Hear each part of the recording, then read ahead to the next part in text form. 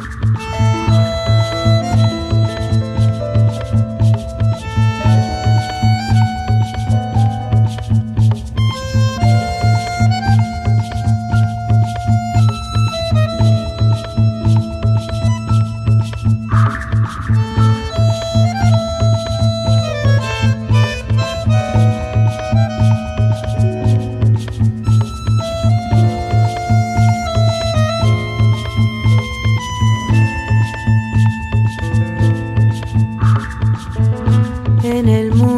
habrá un lugar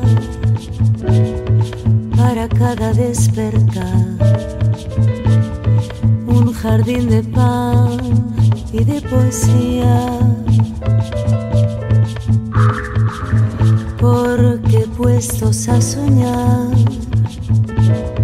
fácil es imaginar